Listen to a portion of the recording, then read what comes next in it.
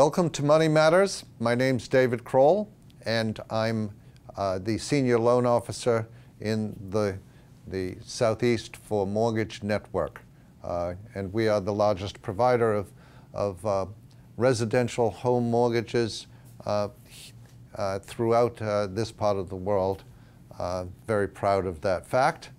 Um, I'm going to start today's um, segment, my segment today, with a description of what Mortgage Network does and how it relates to some special insight that, that we have, that I have, into the growing uh, income inequality uh, that we see uh, in our society at large. Uh, mortgage Network is, uh, as I say, the largest provider of residential mortgages. If you own a home and, uh, and you have a mortgage, then Mortgage Network is, is, the, is the company of choice of the largest number of people in this part of the world uh, for your mortgage. If you're buying a home or you're buying a second home or you're buying an investment property, uh, we, are the, we are the preeminent uh, provider of mortgages. Uh, for the past uh, 13 years, we've been uh, the number one mortgage company, voted the number one mortgage company by the Hilton Head Monthly. And I think for the last 11 years, we've been voted the number one mortgage company by the Island Packet. So our credentials are strong. Up and down the east coast of the United States, uh, we have 30 offices, and uh, last year we, in 2017, we did approximately three billion, that's with a B, uh, three billion dollars uh, in mortgage business. So we absolutely know what we're doing. Uh, we see a lot of people uh, and we do a good job at it. Uh, so uh, this is not an ad campaign for Mortgage Network. This is to simply set the stage for the next topic, which is income inequality. Because we see so many people, uh, uh, we have a, a, a, unique insight into where uh, household incomes actually are uh, in the low country. The low country is uh, a pretty good indicator. It's a, it's a strong economy. the Hilton Head, Bluffton, Beaufort County, uh, and now Jasper County economy is, uh, is a pretty good uh, petri dish, a pretty good test case for the economic activity going in, uh, uh, ongoing in the country at large. It's a, it's a good indicator because it's an area of growth, uh, so there's no special circumstances that are holding it back. Um, it's a, a, thriving, growing economy. Uh, the uh, uh, administrations in the administration's governorship and, and administrations in South Carolina have been pro-growth for at least the last couple of decades, and, and that reflects itself in a lot of economic activity.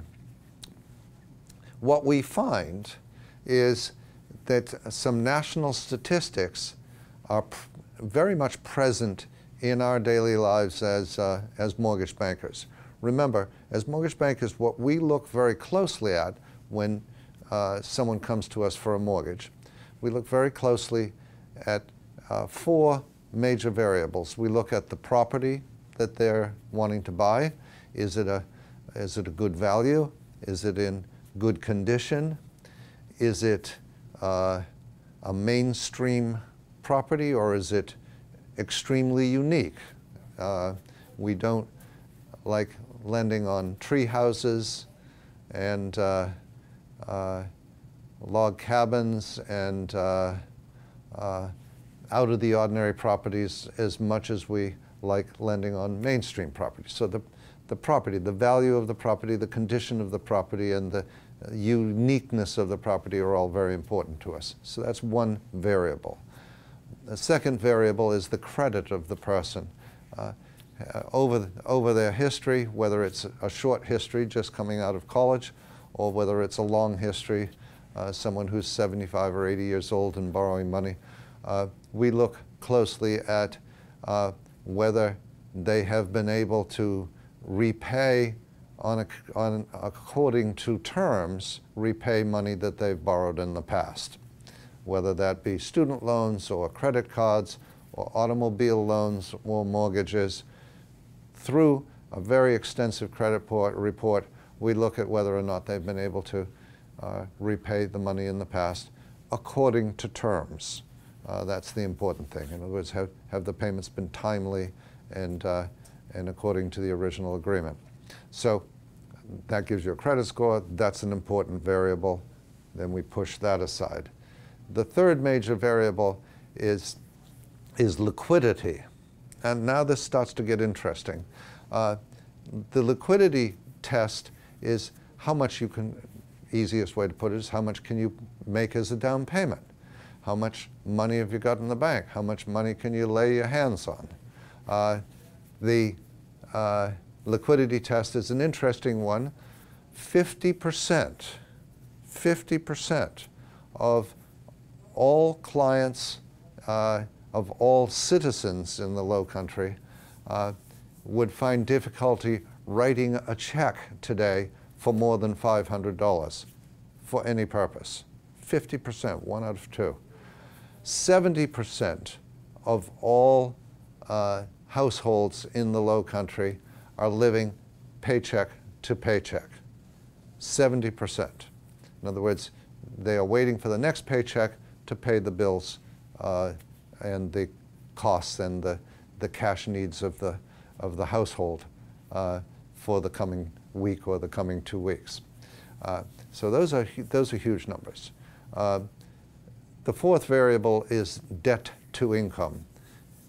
Uh, what is your income versus what are the uh, absolutely committed, legally committed obligations that must be paid out of that income. So uh, if you're uh, making as a household uh, $48,000 uh, a year uh, and you have $4,000 of gross income, that's 4,000 of gross income after taxes, after payroll taxes after uh, uh, every deduction of, of uh, FICA and Medicare and so forth, after everything comes out, uh, you probably uh, have a net check that is not 4,000 but is closer to 3,000. Out of that $3,000, uh, you must pay all of the obligated costs, your rent, your existing mortgage, your automobile payment, your uh, credit card uh, monthly payments, your utility monthly payments. These are all pretty much cast in stone.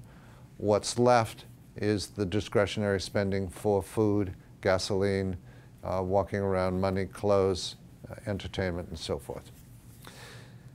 What is extraordinary is that over the last 20 years, the gap between the folks who are in the upper 10% of citizens in the low country and those who are at the lower 90%, the gap has gone, has grown by 27%. 27% uh, more money to the upper 10%, 27% less money to the lower uh, 90%. And that gap intensifies as you get uh, toward the lowest 10% uh, versus the uh, highest 10%. There's about a 10 to 1 ratio. Uh, so if a household in the lower 10% has $25,000 of household income, the upper 10% has 250,000 of uh, household income. So that gap is widening, and uh, we are seeing it reflected in in everyone's daily budgets. Uh, it's an extraordinarily interesting topic, and I'd like to return to it uh, next week and the week thereafter. So, budgets, economic trends, and how they reflect themselves in the low country. That's the topic. This is David Crowell saying goodbye for Mortgage Matters, for, excuse me, for Money Matters, uh, and we'll see you next time.